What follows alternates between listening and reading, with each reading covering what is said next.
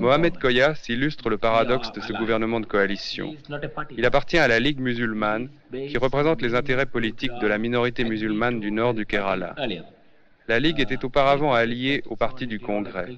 Aujourd'hui, Koyas est ministre de l'Éducation du gouvernement Namboodiripad, mais idéologiquement, tout le sépare des communistes.